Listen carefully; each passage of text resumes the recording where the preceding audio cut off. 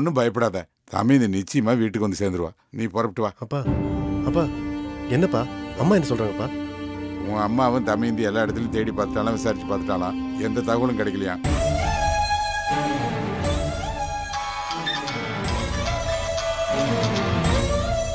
இது வேற. அப்பா எனக்கு ரொம்ப பயமா இருக்குப்பா. போலீஸ்ட்ட மறுபடியும் கம்ப்ளைண்ட் கொடுத்து தேட சொல்லாமப்பா. ஏய் நீ சாயந்தரம் வரைக்கும் பொறுமையாடுறா எல்லாம் அப்புறம் பார்த்துக்கலாம்.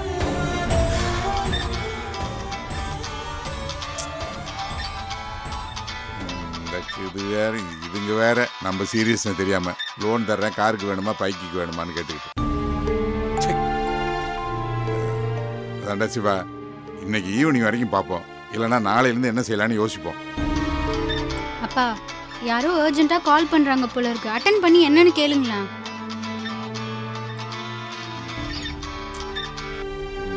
ஹலோ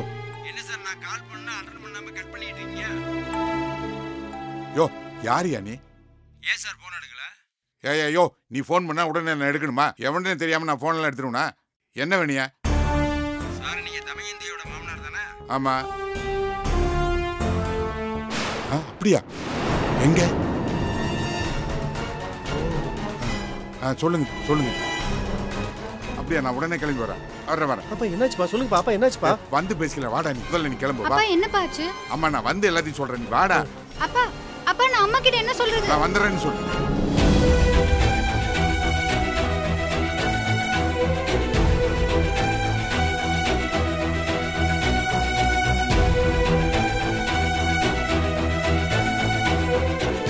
இங்க குமரேசுங்கிறது யாருங்க? நான் தாங்க. நீங்க? நான் நான் தான் என்னவாச்சு? ஃபோன் பண்ணியிருந்தீங்களே? அப்படிங்களா? உட்காருங்க உட்காருங்க. உங்களுக்காக தான் வெயிட் பண்ணிட்டு நீ- என்னாச்சு தமயந்தி? எப்படி? தமயந்தி என்னாச்சு உனக்கு? எப்படி தலையில அடிபட்டுச்சு? யாருன்னே தெரியலங்க. அன்னைக்கு கோயிலுக்கு போயிட்டு வரும்போது நாலு ரவுடி பசங்க என்ன துரத்திக்கிட்டு வந்தாங்க. அவங்க கிட்ட இருந்து தப்பிச்சு ஓடி வரும்போது எதிரில சவுத்துல இடிச்சுக்கிட்டு தடுமாறி கீழே விழுந்துட்டேன். தலையில அடிபட்டு மயக்கம் வந்துருச்சு. அதுக்கப்புறம் இவங்க தான் என்னை காப்பாத்தி கூட்டிட்டு வந்தாங்க. இந்த பொண்ணுக்கு ஏதோ ஆபத்து இருக்கிறதுனால ஆஸ்பத்திரிக்கே கூட்டிட்டு போல. டாக்டர் இங்க வரவழைச்சு ட்ரீட்மெண்ட் எடுத்தோம். ரொம்ப நன்றிங்க. ரெண்டு நாளா தமேந்தி காணோம்னு நாங்க பதறி போயிட்டோங்க. நீங்க எங்களுக்கு உடனே இன்ஃபார்ம் பண்ணிருக்கலாமே. ரெண்டு நாளா ஃபோன் பண்ணி பார்த்தோம். உங்க நம்பர் சுவிச் ஆஃப்னு வருது. உங்க நம்பர் லைனே கிடைக்கல. இந்த பொண்ணு இந்த வீட்ல இருக்கிற விஷயம் வெளியே தெரிஞ்சா பிரச்சனை வந்துருமேன்னு சொல்லி தான் நாங்க யாருக்குமே ஃபோன் பண்ணல. ரெண்டு நாள் அந்த பொண்ணு மயக்கத்திலே இருந்தது. இன்னைக்கு தான் கொஞ்சம் தெளிவா இருக்கு. பரவாயில்லைங்க. ஏமா தமேந்தி அவங்க யாரையாவது உனக்கு அடையாளம் தெரியுமாமா இல்ல மாமா. உயிர் பயத்துல ஓடி வந்ததுனால அவங்கள சரியா கூட நான் பார்க்கல. சரிம்மா. அவங்க யாரு எதுக்காக உன்னை துரத்துனான்னு கண்டுபிடிப்போம். நீ அவங்கள நினைச்சு ஒன்றும் பயப்பட வேணாம். சரிங்க மாமா. எங்க வீட்டு பொண்ணை ரொம்ப பாதுகாப்பா பார்த்துக்கிட்டதுக்கு ரொம்ப நன்றிங்க. சார் எங்களுக்கு எதுக்கு நன்றிலாம் சொல்றீங்க? நீங்க எதுக்கும் போலீஸ்ல ஒரு கம்ப்ளைண்ட். கொடுங்க. அவங்க எப்படியும் கண்டுபிடிச்சிருவாங்க. சரிங்க நான் பார்த்துக்கிறோம் சரிங்க. நாங்க கூட்டிட்டு போறோம். நன்றிங்க. வரோம் நல்லபடியா. போயிட்டு வாமா போயிட்டு வாங்க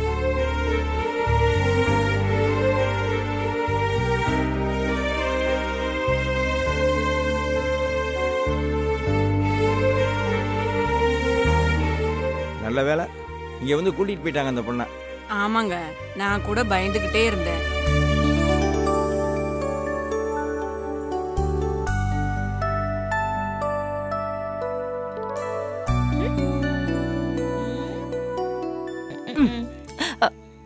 இன்னும் எவ்வளவு நேரம்டி? மா நாளைக்கு எனக்கு கல்யாணமா? யார் இல்லைன்னு சொன்னாங்க? கல்யாணம் பண்ணிக்கிட்டு மாமியார் வீட்டுக்கு போய் வாழ்றதை பாரு. லூஸ் மாதிரி பண்ணிட்டு இருக்க. என்னம்மா நான் ரொம்ப ஷார்ப்பா தான் இருக்கேன். ஆமா நீ ஏன் நினைச்சுக்கிட்டு இரு? கொஞ்சமாவது கிரிமினல் புத்தி இருக்கணும்டி. அப்பதான் இந்த உலகத்துல பொழைக்க முடியும். இல்லைன்னா நம்ம தலையில முளக அரைச்சிடுவாங்க. மா இப்ப என்னதாம்மா பண்ண சொல்ற? கொஞ்சம் தெளிவா சொல்லேன். என்னத்த தெளிவா சொல்லி உனக்கு விளங்க வைக்கிறதே? என்ன சொன்னாலும் உன் மரமண்டைக்கு ஏறினா தானே? மா நீ என்ன ரொம்ப வட்ட தட்டி பேசுறமா ஆமா. பின் என்னடி? உங்க அண்ணன் வீட்டை வித்து கல்யாணத்தை நடத்துறான். அவங்கிட்ட எவ்வளவு பணம் இருக்கு? அது வேணும் இது வேணும்னு கேட்டு புடுங்க வேண்டாம். கிடைச்சது போதும்னு இருந்தா எப்படி மா அண்ணி தான் நம்ம கேட்டதெல்லாம் வாங்கி கொடுத்துட்டாங்கல்ல? ஆமா பெரிய வாங்கி கொடுத்து கிழிச்சிட்டா. இது பாரு எதுலயும் திருப்தி அடையக்கூடாது. அடைஞ்சோன்னு வச்சுக்க. கிடைக்க வேண்டியது கிடைக்காம போயிடும். எல்லாத்தையும் சொல்லிதான் செய்யணுங்கிறது இல்லடி. சொந்த புத்தியும் கொஞ்சம் பயன்படுத்தணும். சும்மா மேக்கப் போடுறது திங்கிறது தூங்குறது. இதே வேலையா இருக்க கூடாது காரியவாதியா இருக்கணும்டி. என் பொண்ணு இல்ல நீ. ஒரு விஷயத்த நல்லா புரிஞ்சுக்க. கல்யாணம் முடிஞ்சு போறதுக்குள்ள கேட்க வேண்டியதெல்லாம் கேட்டு வாங்கிட்டு போயிடணும். முடிஞ்சு போச்சுன்னு வச்சுக்க. அதுக்கப்புறம் ஒரு நயா பைசா கூட கிடைக்காது. அம்மா அதான் நம்ம அண்ணன் சக்திக்கு மீறி மாப்பிள்ளை வீட்ல என்னென்ன கேக்குறாங்களோ அதெல்லாம் வாங்கி கொடுத்தாச்சே. பத்தாதுடி. இதெல்லாம் பத்தாது. வீட்டை வித்த பணம் நிறைய இருக்கு.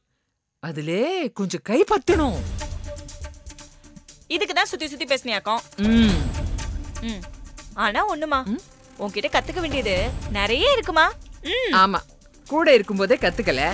இப்ப மாமியார் வீட்டுக்கு போய் பெருசா கத்துக்க போறேன். கிழுக்க போறேன். நீ ஒண்ணு கவலைப்படாதம்மா. நான் வேணா உனக்கு அப்பாயின்மெண்ட் தரேன். Daily one hour two hour class எடுத்துருப்போம் நான் பள்ளிக்கூடம் வச்சு நடத்துறேன். அதுல வந்து நீ படி.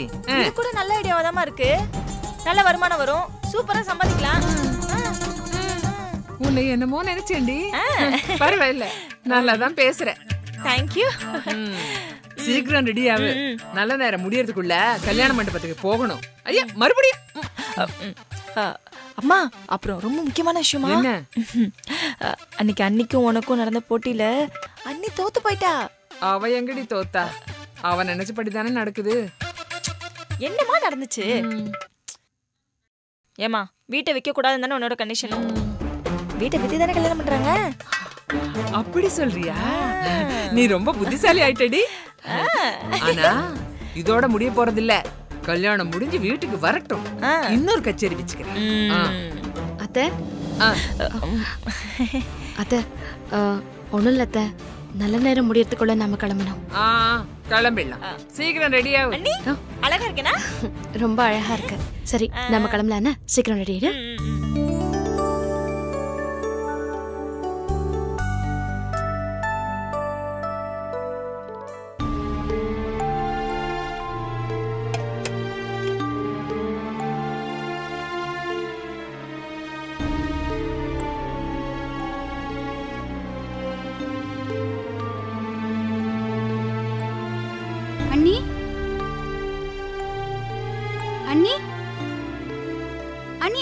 என்ன அண்ணி ஆச்சு என்ன தலையில கட்டெல்லாம் போட்டிருக்கீங்க?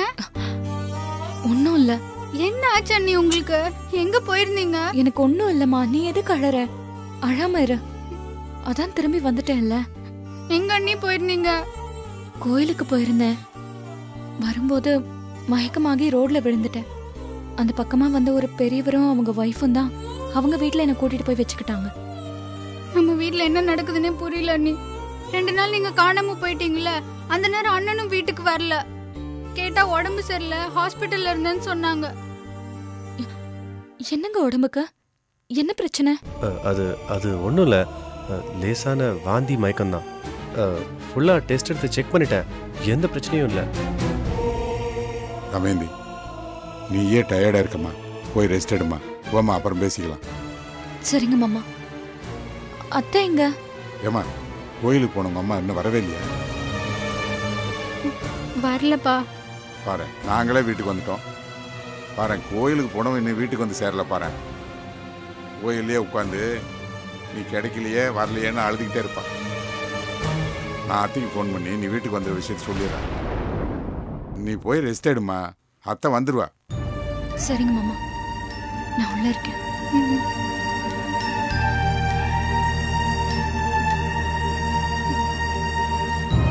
பிரவீனா கொஞ்சம் குடிக்க தண்ணி எடுத்துட்டு வா சரிப்பா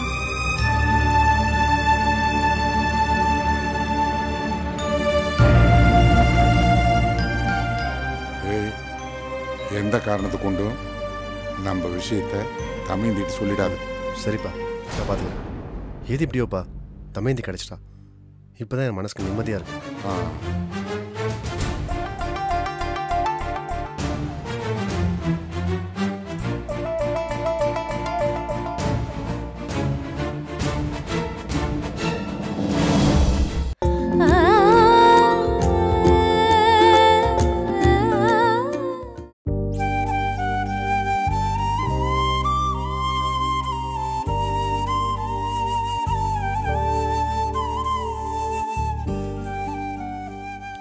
சாரி தமயந்தி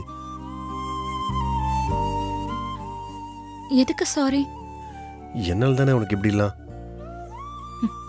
யாரோ ரவுடிங்க துரத்துனதுக்கு நீங்க என்ன பண்ணுவீங்க? இல்லை கோயிலுக்கு போயிட்டு நான் உன்னை பத்திரமா வீட்டில் கொண்டு வந்து விட்டுருக்கணும். என்னங்க நீங்க? இப்படியெல்லாம் நடக்கணும் உங்களுக்கு என்ன முன்னாடியே தெரியுமா? விடுங்க. ஏதோ ஒரு கெட்ட நேரத்துலயும் நல்ல நேரம். எதுவும் ஆகல இல்ல. அதையே திரும்ப திரும்ப நினைச்சுக்கிட்டு இருந்தா உங்க மனசுதான் கஷ்டப்படும். இவ்வளோ நாளாக நான் உன்னை புரிஞ்சுக்கல தமேந்தி. எவ்வளோ ஆசைகளோட கனவுகளோட நீ என்னை கல்யாணம் பண்ணிட்டு இந்த வீட்டுக்கு வந்திருப்ப. என்னை கல்யாணம் பண்ண நாள்லேருந்து நீ இது வரைக்கும் சந்தோஷமாகவே இல்லை. உன் முகத்தில் சந்தோஷத்தை நான் பார்க்கல. ஒரு கணவனா இது வரைக்கும் நான் கூட சரியாக நடந்ததில்லை.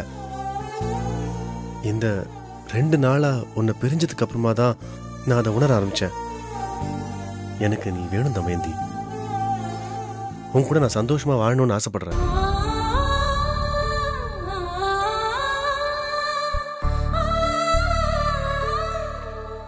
இது வரைக்கும் நான் உன் மனசை புரிஞ்சுக்காம நடந்துக்கிட்டேன். முதல்ல என்னை மன்னிச்சிரு. ஐயோ என்ன நீங்க? நீங்க எதுக்கு என்கிட்ட மன்னிப்பெல்லாம் கேக்குறீங்க? குற்ற உணர்ச்சியா இருக்கு தமயந்தி எந்த குற்ற உணர்ச்சியும் இனிமே வேண்டாங்க.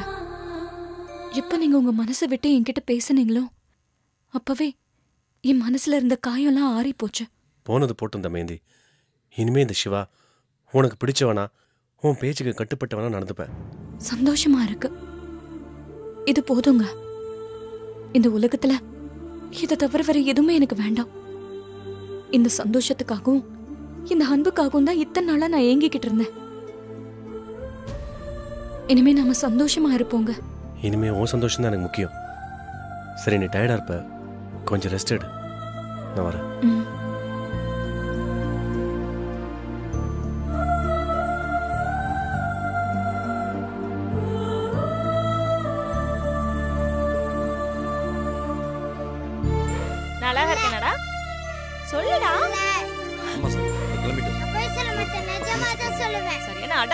மூச்சை பாரு.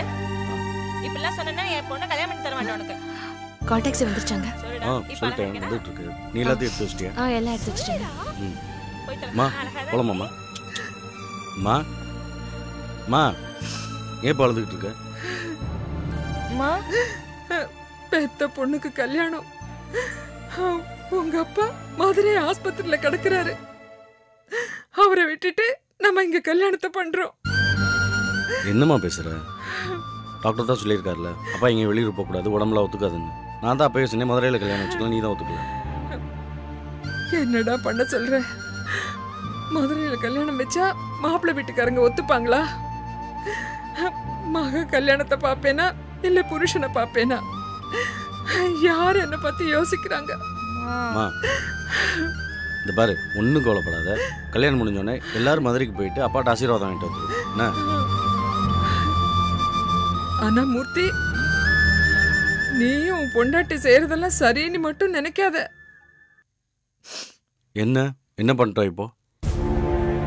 ஏண்டா? ஒன்றரை கோடி ரூபாய் வீடு.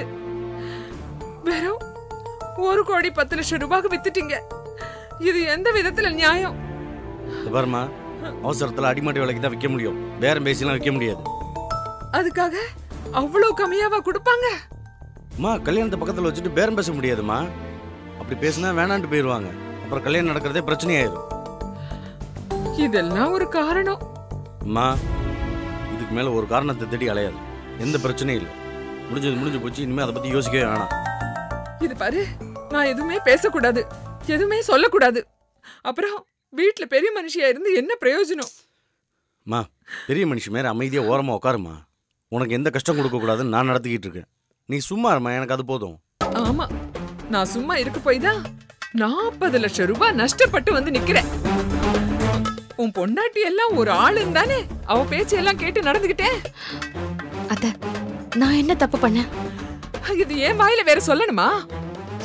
ஏண்டி உன் தங்கச்சிக்கு சொத்து சேரணும் தானே பிளான் பண்ணி இதெல்லாம் பண்ணிருக்க? நான் சொன்ன மாதிரி இந்த சம்பந்தியோட வீட்ல வீட்டை வித்திருந்தா நல்ல ரேட்டுக்கு வாங்கியிருப்பாங்க. அப்படி ஏதாவது ஆயிருந்தா இவளுக்கு சொத்து சேர்ந்திருக்கும். உன் பொண்டாட்டி எல்லாத்தையும் கெடுத்துட்டா இல்ல? ஏன் தங்கச்சிக்கு சொத்து சேர்க்கணும் நான் என்னைக்கும் நினைச்சதில்ல அத்த. ரெண்டாவது அது அவளுக்கு சேர சொத்து இல்ல அத்தை. அவங்க மாமனார் தான் காசு கொடுத்து வாங்கியிருக்காரு. அவளுக்கும் இதுக்கும் எந்த சம்மந்தமும் இல்ல அத்தை. ரெண்டும் ஒண்ணுதான். யாரு வாங்கினா என்ன? மாமனார் மண்டைய போட்டா உன் தங்கச்சிக்கு தானே எல்லாம் போய் சேரும்? அம்மா இந்த ரேட்டு கொடுத்ததுக்கு குந்தவ காரணம் இல்லை. நம்ம சூழ்நிலை தான் காரணம். கொடுத்தாச்சு. இனி யாரையும் குறை சொல்ல முடியாது. எல்லாரும் சதி பண்ணி தான் நான் இந்த நிலைமைக்கு வந்திருக்கேன். போதுமா? விட்டுரு தயவு செஞ்சு. ஏய் நீ முதல்ல கிளம்பு. பேக் எடுத்துக்க. ஏய் போடா முன்னாடி போடா. ஏய் நீ கிளம்பு அதை எடுத்துட்டு போ. அண்ணா என்ன கல்யாணம் பொண்ணு. பேக்ல தூக்க கூடாது போ. வேலை செய்யறதுக்கு ஓராயிரம் காரணம் சொல்றேன் அம்மா வாமா வா. வர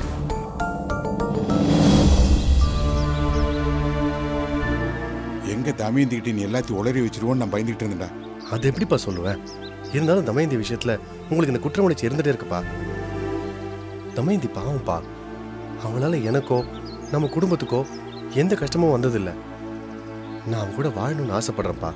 சரியான முடிவு தான் அந்த நான்சி விட ஒரு நல்ல வாழ்க்கை துணைவியா தமைந்தி தான் இருப்பா. அந்த நான்சிக்கு ஒரு முடிவு கட்டினா தான் உன் வாழ்க்கை தமையந்தியோட சந்தோஷமா நடக்கும்.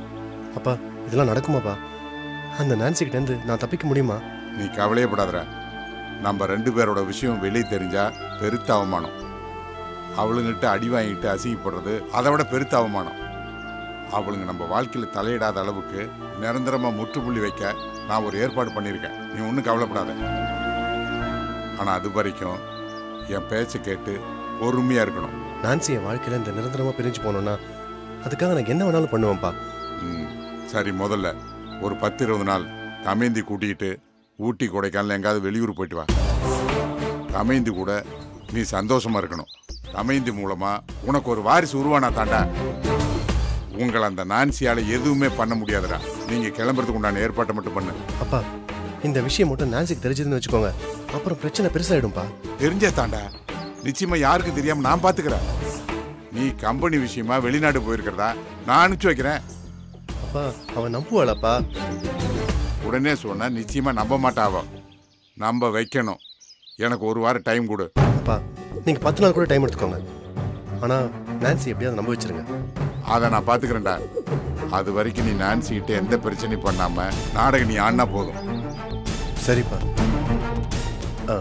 அடுத்து இன்னொரு முக்கியமான விஷயம்ப்பா என்னை வேவு பார்க்கறது எவன்னு கண்டுபிடிக்கணும்ப்பா அடுத்து அவனுக்கு சாவமணி அடிக்கணும்ப்பா அதுக்கு என்னடா நான் பாத்துக்கிறேன்? நீ ஒன்றும் கவலைப்படாத. அப்பா இந்த வாட்டி எதுவும் சொதப்பிடக்கூடாதுப்பா. பார்த்துக்கோங்கப்பா சொதப்பாதடா.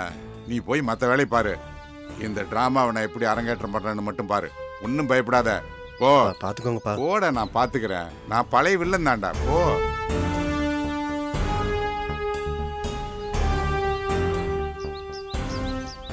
Mercy Nancy.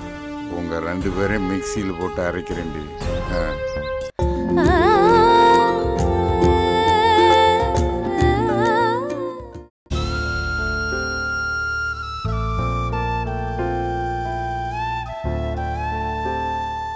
ம் இந்தாங்க காஃபி.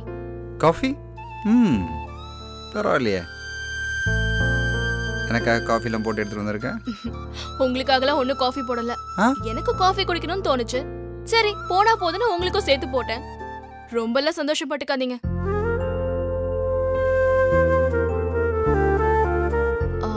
என்னங்க?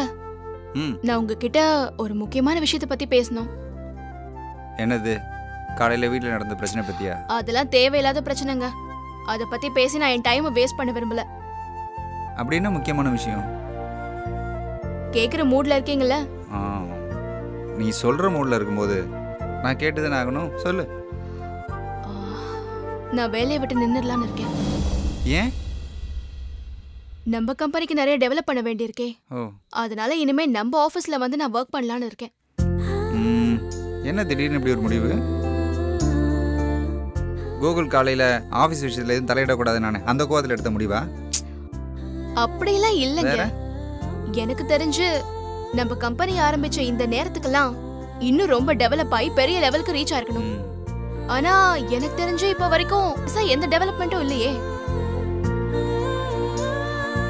அப்புறம் அந்த கோகுல் ஆர்வ கோளாறுல பேசுறாரே தவிர பிசினஸ் பத்தி அவருக்கு எதுவுமே தெரிய மாட்டேங்குது.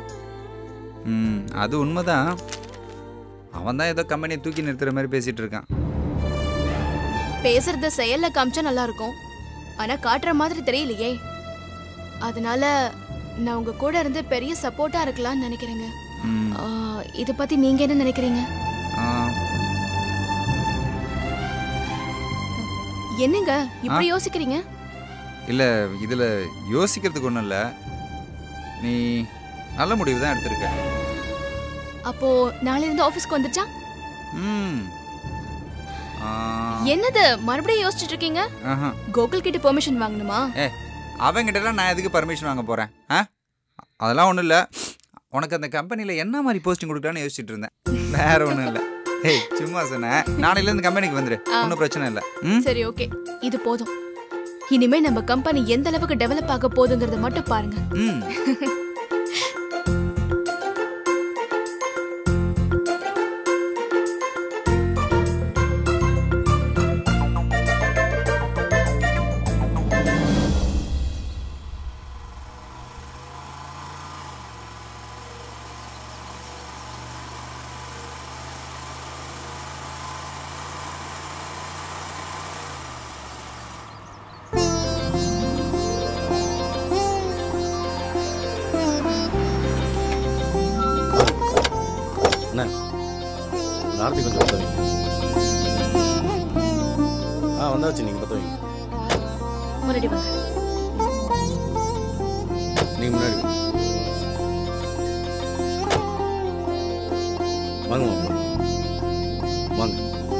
நில்லு.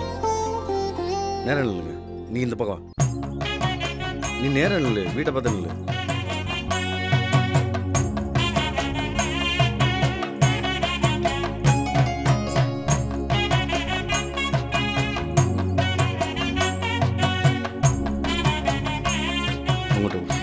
இந்தாங்க. உலகம் அங்க கொண்டு போய் கொட்டிடுங்க. வாங்க. பார்த்து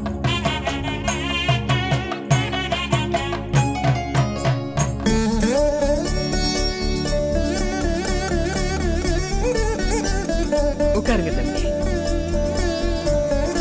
வாங்க. நீங்கள் உட்காருங்க. வாங்க உட்காருங்க.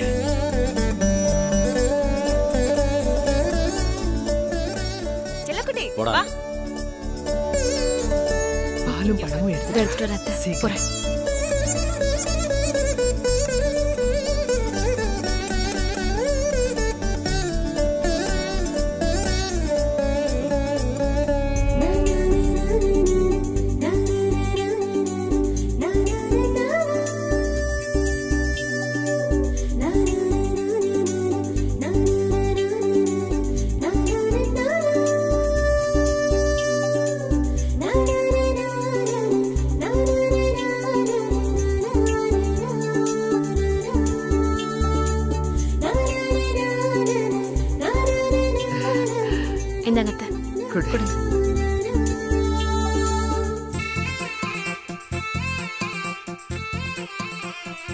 இந்தாங்க தம்பி.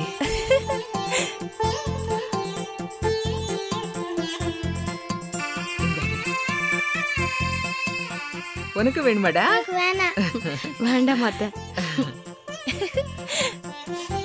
போதுமா கொடுங்க.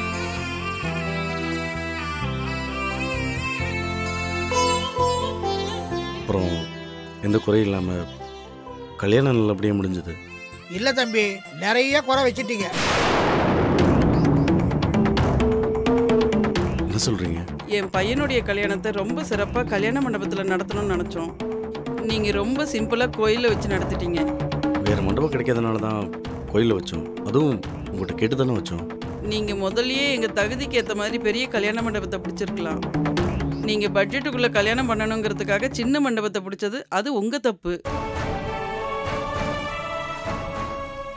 தம்பி எங்களுக்கு அந்த கல்யாண மண்டபம் பிடிக்கலன்னு சொன்னதும் நீங்க என்ன பண்ணிருக்கணும் அதை விட பெரிய கல்யாண மண்டபம் பார்த்து அட்வான்ஸை கொடுத்துட்டு அதுக்கப்புறம் தான் நீங்க வந்து கேன்சல் பண்ணியிருக்கணும். அதை விட்டுட்டு புக் பண்ண கல்யாண மண்டபத்தையே கேன்சல் பண்ணிட்டு வந்து நிக்கிறீங்க? சரி அதுதான் போகட்டும். கோயிலில் தான் கல்யாணத்தை வச்சு நடத்ததா சொன்னீங்க. அது ஒரு பெரிய கோயிலாக இருந்தாலும் பரவாயில்ல. சாதாரணம் ஒரு சின்ன கோயிலை பார்த்து ரொம்ப சிம்பிளாக முடிச்சிட்டீங்களே. நாங்க எதுவும் வேணும்னு பண்ணல. நீங்க ஆசைப்பட்ட மாதிரி பெரிய கல்யாண மண்டபமா பிடிச்சிடலாம் நினைச்சு தான் நாங்க கேன்சல் பண்ணோம். எது எப்படியோ? அதுல ஒரு மூணு லட்சத்தை மிச்சப்படுத்திட்டீங்க. அப்படித்தானே? கல்யாணத்துக்கு வந்திருந்த எங்க சொந்த பந்தமெல்லாம் இவ்வளவு சிம்பிளா கல்யாணத்தை வச்சுட்டீங்கன்னு சொல்லி எங்களை ரொம்ப கேவலமா பேசிட்டு போயிட்டாங்கப்பா. ஏன் இப்படி பண்ண? என்னோட ஃப்ரெண்ட்ஸ் கூட எவ்வளவு சீப்பா பேசிட்டு போனாங்க தெரியுமா? வீட்டை தான் வித்துட்டல அப்ப செலவு பண்றதுக்கு என்ன? கேட்டா சண்டைக்கு வருவான் உங்க அண்ணன். ஏண்டா ரெண்டு மூணு தங்கச்சியா இருக்கு? ஒரே ஒரு தங்கச்சி தானே இருக்கு? அவளுக்கு செய்யறதுக்கு என்ன? ஒரே கஞ்சதனம் பண்ணிக்கிட்டு. அம்மா புரிஞ்சுதான் பேசுறியா? இந்த கல்யாணம் நடக்கிறதுக்கு என் வீட்டே வச்சிருக்கேம்மா என்னடா இது வம்பா போச்சு? உன் தங்கச்சி கல்யாணத்துக்காக தானே வித்த? தெருவுல போறவளுக்காகவா வித்த? மா தங்கச்சின்னு நினைப்புன்னு ஒண்ணு இருந்தா செய்ய வேண்டிய முறையில கரெக்டா செஞ்சிருப்பாங்க. என்ன கவிதா இப்படி பேசுற? உனக்கு நாங்க என்ன குறை வச்சோம்? மாப்பிள்ளை வீட்டுல கேட்ட எல்லாத்தையும் கொடுத்தாச்சே. என்னத்தை கரெக்டா பண்ணிட்டீங்க? பெருசா படகு மாதிரி கார் வாங்கி தரேன்னு சொன்னீங்க. கடைசியில சோப் டப்பா மாதிரி ஒரு சின்னதா ஒரு காரை வாங்கி கொடுத்துருக்கீங்க. வீட்டுக்கு தேவையான பொருள் எல்லாம் பிராண்டடா வாங்கி தருவீங்கன்னு எதிர்பார்த்தோம். பர்மா பஜார்ல விலை கம்மியா வாங்கி கொடுத்துட்டீங்க. ஊர்வலத்தெல்லாம் போய் பாருங்கம்மா. பொண்ணை பார்த்தவங்க எப்படி எல்லாம் என்னென்ன செய்றாங்கன்னு போய் பாருங்க. என்னங்க? விட்டா அடுக்கிக்கிட்டே போறீங்க. முத பொண்ணுகிட்ட வரும்போது எதுவுமே வேணான்னு சொன்னீங்க. அப்புறம் பொண்ணை நிச்சயம் பண்ணதுக்கு அப்புறம் ஒவ்வொன்றா அடுக்கிக்கிட்டே போறீங்க.